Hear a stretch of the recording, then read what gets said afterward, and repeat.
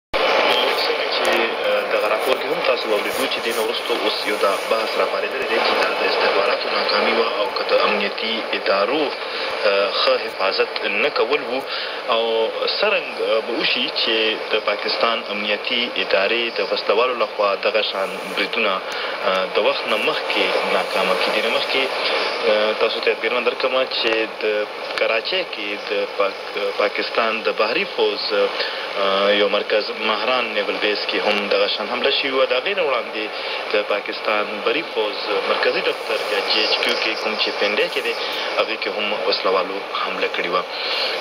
تفصیل اورو د مدثر شاه نه.